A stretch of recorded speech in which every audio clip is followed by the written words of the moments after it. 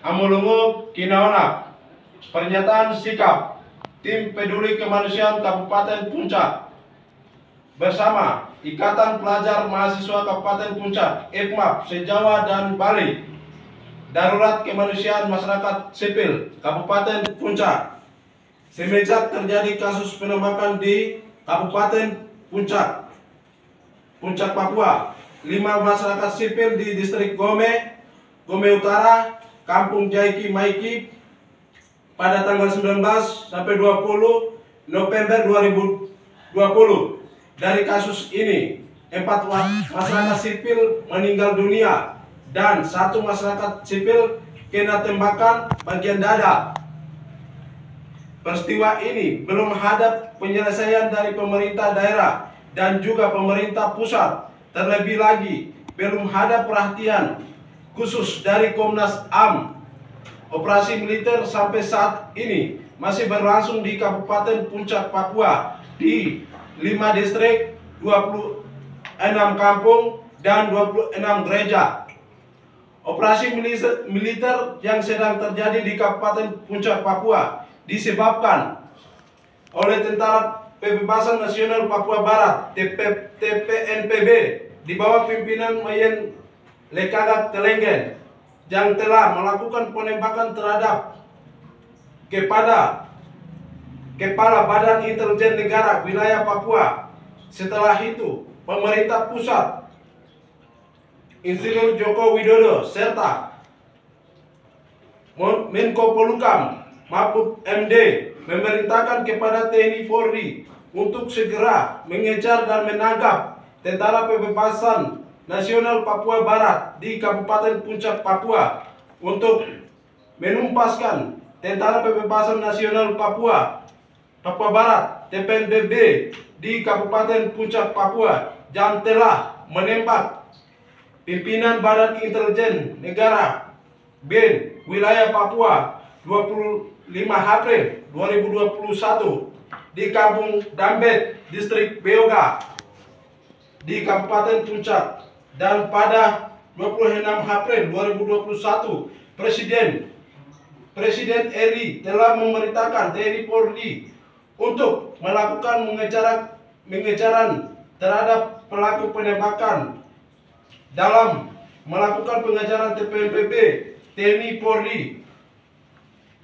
Melakukan serangan udara dan serangan dengan menggunakan eh, tiga helikopter yang mengaktif, mengaktifkan mengaktifkan masyarakat sipil 5 distrik 26 kampung dan 26 gereja di Kabupaten Puncak Papua mengungsi ke utara.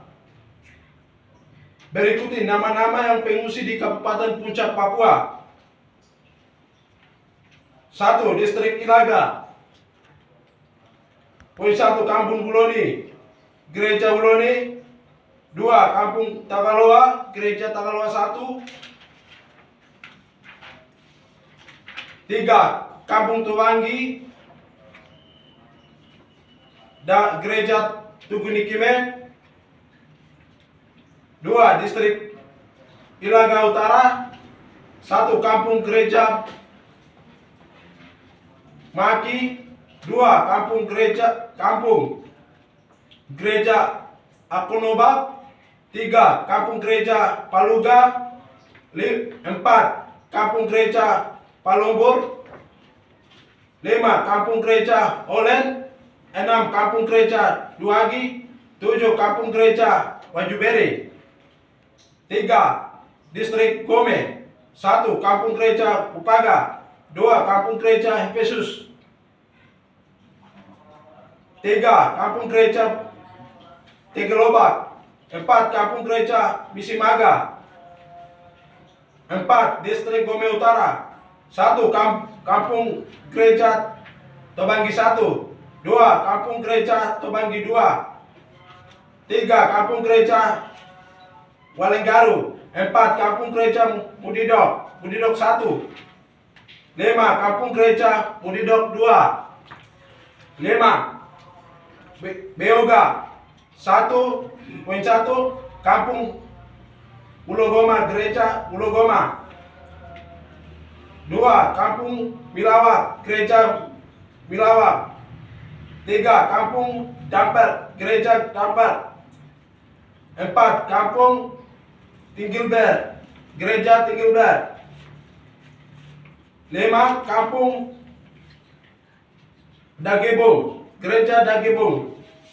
Sampai saat ini belum ada upaya-upaya dilakukan pemerintah daerah, pemerintah Provinsi Papua serta Dewan Rakyat Daerah DPRD Kabupaten Puncak dan Dewan Perwakilan Rakyat Provinsi Papua DPRP DPRP Papua dan meninggapi operasi yang yang terjadi di Kabupaten Puncak Papua.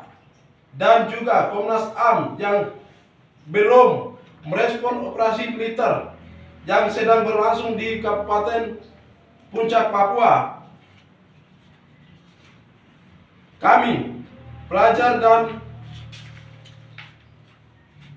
mahasiswa Puncak Papua, Hikmap, Sejawa dan Bali sangat menyayangkan pernyataan pernyataan pernyataan Presiden Republik Indonesia Insinyur Joko Widodo dalam hal ini meninggapi persoalan di Kabupaten Puncak Papua dengan menggunakan kekuatan militer untuk mengamankan operasi militer yang terjadi di Kabupaten Puncak Papua dan dari operasi militer yang terjadi di Kabupaten Puncak Papua masyarakat sipil yang terjadi korban dan masih mengungsi di ke hutan maka dengan ini kami tim peduli kemanusiaan Kabupaten Puncak Papua dan Ikatan Pelajar Mahasiswa Kabupaten Puncak Papua, IKMAP Sejawa dan Bali mengutuk agar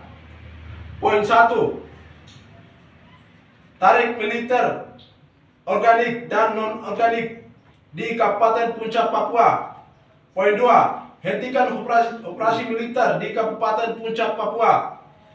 Poin tiga, pemerintah Provinsi Papua dalam hal ini Dinas Pendidikan segera mencabut meradum MOU.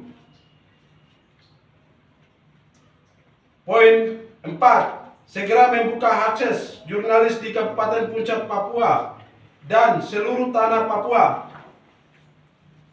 Lima, Komnas HAM segera menyelesaikan pelanggaran AM di Kabupaten Puncak, Papua. Poin 6. Segera mencabut pelabelan Tentara Pembebasan Nasional Papua Barat TPNPB sebagai teroris. 7. Tolak otonomi khusus dan daerah otonomi baru DOM di seluruh tanah Papua.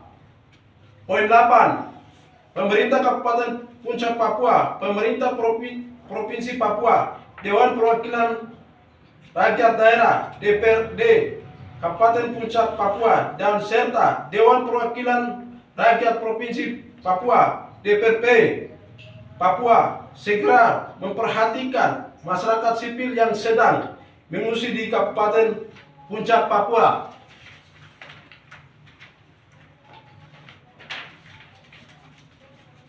mengetahui tim peduli kemanusiaan Kabupaten Puncak Despinus Wakerpa menyetujui Badan Pengurus Pusat IPMAP Sejawa dan Bali Kelanus Keluar Surabaya 2 Mei 2021 Hidup mahasiswa! Hidup! Baba! Nereye?